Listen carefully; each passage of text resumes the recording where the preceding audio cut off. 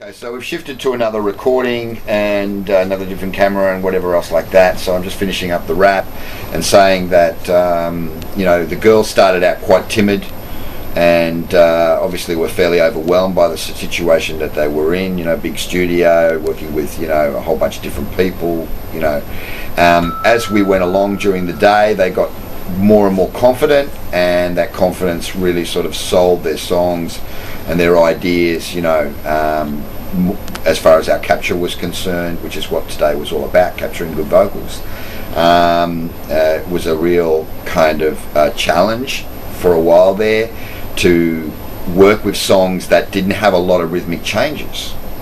You know, the same thing over and over, but with different kind of melody shifts here and there. Um, but I think that we created lots of good colours and textures, and and that gives us, you know, and gives Michael actually, you know, Lang there, um, a lot of different options as far as like what to pick and choose and work with as far as the bigger picture of the productions are concerned. So I thought it was great and I always love working here. You know, Dave and I get on really well. We work well together, and um, we've come up with a really, really good, strong, you know, product. And uh, hopefully, when it's all mixed and mastered together, it'll be friggin' awesome. Peace!